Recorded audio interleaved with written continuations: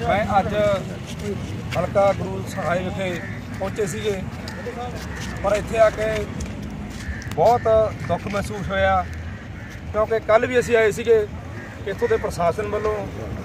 ਇੱਥੋਂ ਦੇ ਜੋ ਰਾਣਾ ਗੁਰਮੀਤ ਸਿੰਘ ਸੋਢੀ ਆ, ਉਹਦੇ ਬੇਟਿਆਂ ਵੱਲੋਂ, ਉਹਨਾਂ ਦੇ ਗੁੰਡਿਆਂ ਵੱਲੋਂ ਕੱਲ ਵੀ ਇੱਕ ਜਾਲੀ ਕੋਈ ਦਸਤਾਵੇਜ਼ ਜਿਹੜੀ ਕਿ ਫਾਈਲਾਂ ਉੱਥੇ ਬੰਦੇ ਲੈਣਾ ਦੇ ਵਿੱਚ ਲਾਏ ਹੋਏ ਨੇਗੇ, ਕਿਉਂਕਿ ਵੀ ਦੂਸਰੇ ਬੰਦੇ ਲੇਟ ਹੋ ਜਾਣ, ਕਿ ਫਾਰਮ ਐਡਮਿਟੀ ਨਾ ਕਰਵਾ ਸਕਣ।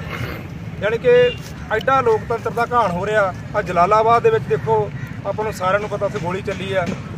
ਇਧਰ ਜੀਰੇ ਦੇ ਵਿੱਚ, ਫਿਰੋਜ਼ਪੁਰ ਦੇ ਵਿੱਚ, ਤਰਨਤਾਰਨ ਦੇ ਵਿੱਚ ਵੀ ਲੋਕਾਂ ਦਾ ਜਿਹੜਾ ਸਰਿਆਮ ਲੋਕਤੰਤਰ ਦਾ ਕਤਲ ਹੋ ਰਿਹਾ। ਮੈਂ ਚੋਣ ਕਮਿਸ਼ਨ ਨੂੰ ਪੁੱਛਣਾ ਚਾਹੁੰਦਾ ਵੀ ਤੁਹਾਡੀ ਨਿਗਾਹ ਦੇ ਵਿੱਚ ਜੇ ਕੋਈ ਮੀਡੀਆ ਰਾਹੀਂ ਜਾਂ ਸੋਸ਼ਲ ਮੀਡੀਆ ਰਾਹੀਂ ਜੇ ਤੁਸੀਂ ਆਵਾਜ਼ ਸੁਣਦੇ ਹੋ, ਤਾਂ ਅੱਜ ਲੋਕਤੰਤਰ ਦਾ ਸਰੇਆਮ ਸਾਡੇ ਪੰਜਾਬ ਦੇ ਵਿੱਚ, ਇਹਨਾਂ ਜ਼ਿਲ੍ਹਿਆਂ ਦੇ ਵਿੱਚ, ਪੂਰੇ ਪੰਜਾਬ ਦੇ ਵਿੱਚ ਲੋਕਤੰਤਰ ਦਾ ਘਾਣ ਕੀਤਾ ਜਾ ਰਿਹਾ। ਕਿਉਂਕਿ ਵਰਕਰਾਂ ਨੂੰ ਫਾਰਮ ਤੱਕ ਨਹੀਂ ਭਰਨ ਦਿੱਤੇ ਜਾ ਰਹੇ। ਤੇ ਸਾਰੇ ਵਰਕਰ ਸਵੇਰ ਤੋਂ ਆਉਂਦੇ ਆ ਲੈਣਾ ਦੇ ਵਿੱਚ ਲਾ ਕੇ ਮੁੜ ਜਾਂਦੇ ਨੇ, ਜਿਹੜੇ ਇੱਥੋਂ ਦੇ ਨੁਮਾਇੰਦੇ ਨੇ, ਇੱਥੋਂ ਦੇ ਮੰਤਰੀ ਨੇ, ਉਹ ਉਹਨਾਂ ਨੂੰ ਹਰਾਸਮੈਂਟ ਕਰਕੇ ਉਹਨਾਂ ਦੇ ਕੱਲ ਮੈਂ ਇੱਥੋਂ ਤੱਕ ਦੇਖਿਆ ਵੀ ਜਿਹੜੇ ਕਿਸਾਨੀ ਝੰਡੇ ਸੀਗੇ, ਉਹਨਾਂ ਦੇ ਵਿੱਚ ਕਿਸਾਨੀ ਡੰਡਾ ਲਾ ਲਓ ਡਾਂਗਾ ਦੇ ਵਿੱਚ ਕਿਸਾਨੀ ਝੰਡੇ ਪਾ ਕੇ ਸਾਰੀ ਦਿਹਾੜੀ ਉਹ ਅੰਦਰ ਐਸਡੀਐਮ ਦਫ਼ਤਰ ਦੇ ਵਿੱਚ ਬੈਠੇ ਰਹੇ ਨੇ। ਐਸਡੀਐਮ ਦੀ ਵੀ ਗੁੱਡੇ ਗੁੰਡਾ ਕਰਦੀ ਉਹਦਾ ਜ਼ਿੰਮੇਵਾਰੀ ਬਣਦੀ ਆ, ਫਰਜ਼ ਬਣਦਾ, ਇੱਥੋਂ ਦੇ ਪ੍ਰਸ਼ਾਸਨ ਦੀ ਜ਼ਿੰਮੇਵਾਰੀ ਆ। ਕੋਈ ਲੋਕਤੰਤਰ ਨਹੀਂ ਹੈਗਾ ਇੱਥੇ। ਸਭ ਕੁਝ ਘਾਣ ਹੋ ਰਿਹਾ। ਮੈਨੂੰ ਇੱਥੋਂ ਦੇ ਲੋਕਾਂ ਨੇ ਦੱਸਿਆ ਵੀ 28 ਸਾਲ ਦੇ ਕਰੀਬ ਹੋ ਗਏ। ਇੱਥੇ ਮਿਊਨਿਸਪਲ ਕਮੇਟੀ ਦੀਆਂ ਇਲੈਕਸ਼ਨਾਂ ਨਹੀਂ ਹੋਈਆਂ। 28 ਸਾਲ ਹੋ ਗਏ। ਜੇ ਅਕਾਲੀ ਦਲ ਦਾ ਰਾਜ ਆਉਂਦਾ, ਤਾਂ ਅਕਾਲੀ ਦਲ ਵਾਲੇ ਦੂਜੇ ਦੇ ਫਾਰਮ ਫਾੜ ਦਿੰਦੇ ਨੇ। ਜੇ ਕਾਂਗਰਸ ਦਾ ਰਾਜ ਆਉਂਦਾ, ਉਹ ਨਹੀਂ ਅੰਦਰ ਵੜਨ ਦਿੰਦੇ।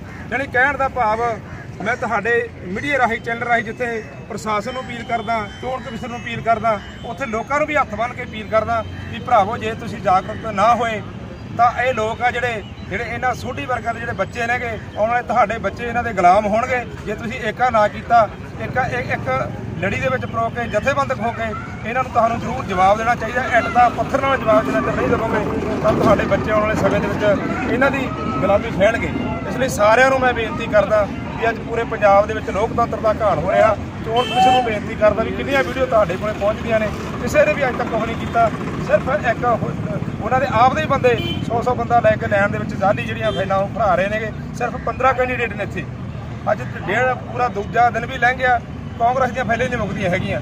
ਇਸ ਕਰਕੇ ਲੋਕਤੰਤਰ ਦਾ ਘਾਣ ਹੋ ਰਿਹਾ। ਸਾਡੇ ਲੋਕਾਂ ਨੂੰ ਪਰੇਸ਼ਾਨ ਕੀਤਾ ਜਾ ਰਿਹਾ। ਤੁਹਾਡੇ ਚੈਨਲ ਰਾਹੀਂ ਫੇਰ ਦੱਸਦੇ ਵੀ ਜੇ ਨਾ ਹੋਇਆ ਤਾਂ ਆਉਣ ਵਾਲੇ ਸਮੇਂ ਵਿੱਚ ਵੱਡਾ ਜਿਹੜਾ ਸੰਘਰਸ਼ ਆ, ਉਹ ਆਮ ਆਦਮੀ ਪਾਰਟੀ ਵੱਲੋਂ ਵਿੱਢਿਆ ਜਾਊਗਾ।